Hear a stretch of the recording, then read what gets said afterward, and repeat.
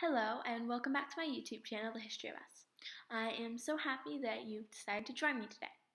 We will be continuing to learn about the women who built the United States of America and who helped during the Revolutionary War. Today, we will be talking about Elizabeth Freeman. She was a slave who helped pave the pathway for the abolishment of slavery in the state of Massachusetts. Elizabeth was born into slavery in New York in either 1742 or 1744. This date is still debated. Elizabeth's parents were first generation slaves. She grew up in the household of Peter Hogeboom with her younger sister Lizzie. When Elizabeth's owner's daughter married a man by the name of Ashley, Elizabeth and Lizzie were given to them as a gift.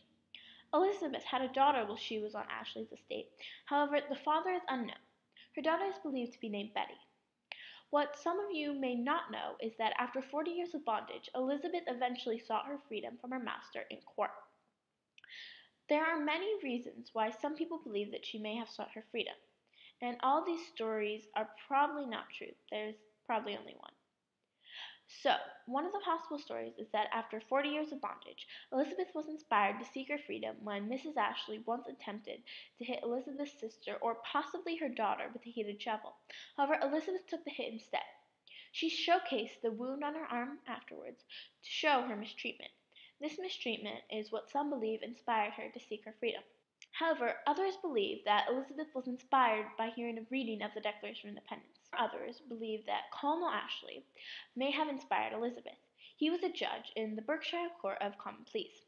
In 1773, he participated in the creation of the Sheffield Declaration, which essentially said that all people were equal and had a right to their property, pursuit of happiness, and liberty. Elizabeth would have heard these ideas from being around her master although they wouldn't have been directly communicated to her.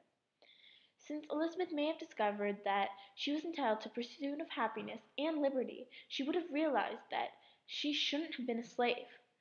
This is what some people believe she heard from Colonel Ashley, and this is what they believe inspired her to seek her freedom. Whatever the reason, Elizabeth teamed up with a slave named Braham, who was also a slave on Ashley's estate, and they decided to legally fight for their freedom in court. Elizabeth and Braham teamed up with a lawyer named Theodore Sedgwick Sr., who also disapproved of slavery. They were going to fight for their freedom in court. They argued that slavery wasn't lawful, so Braham and Elizabeth needed to be freed. At first, they received an order for Ashley to release Braham and Elizabeth. However, Ashley refused to do so, so the case was brought up again.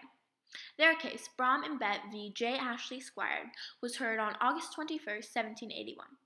On August 22, 1781, a court in Great Barrington, Massachusetts, found that Freeman and Braham should be freed as slavery was unconstitutional. The Ashleys had to pay Elizabeth and Braham each 30 shillings and pay Freeman's salary for the years she had worked for them, which was about a total of 10. The court costs were also covered. The Ashleys were going to appeal, but eventually they didn't. Elizabeth's case is often said to be the first case in which an African American woman or even any African American slave, received her freedom via the court system in the state of Massachusetts.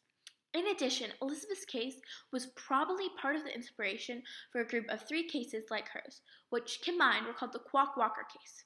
Historians believe that this case was significant in getting the Supreme Court of Massachusetts to outlaw slavery, as it eventually did. Overall, Elizabeth's case set the course for the abolishment of slavery in Massachusetts. After a case, Elizabeth repeatedly refused her former owner, Ashley's, offer for her to return to his plantation as a paid servant. She actually went to work for Sedgwick as a paid servant. She adopted the name Freeman after she was freed and ended up working for Sedgwick for the rest of her life. She was also a nurse and a midwife. She may have even defended Sedgwick's house from rebels during Shays' Rebellion after the Revolutionary War in 1787. After 20 years, Elizabeth bought her and her children a house. However, Elizabeth never learned to read or write. After her death in 1829, she was buried with the rest of the Sedgwick family. She was the only person buried there who wasn't actually part of their family. That is the end of my information on Elizabeth Freeman. Thank you so much for watching today as I shared the story of one of my favorite women from the Revolutionary War era. Here are the sources that I used in my research.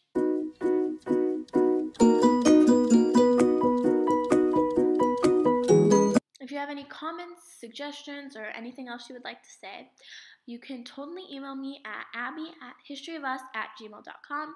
Again, thank you so much for watching, and please tune in in two weeks for another video.